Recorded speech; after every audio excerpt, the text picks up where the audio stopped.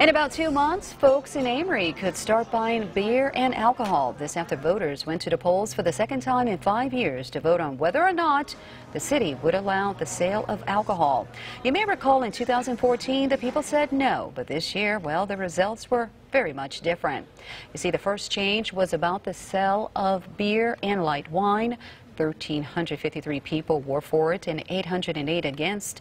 And then there was the sale of liquor. 1,343 were for it and 849 were against it. The city clerk, Jamie Morgan, said that 44.8% of the vote, voters turned out, nearly double of last time they tried this in 2014, and that it looks like this will pass, even with affidavits. Now, the next step for this process is for the city to amend the law, and the city clerk says that, again, it could be two months at the earliest for beer to be hitting the city shelves.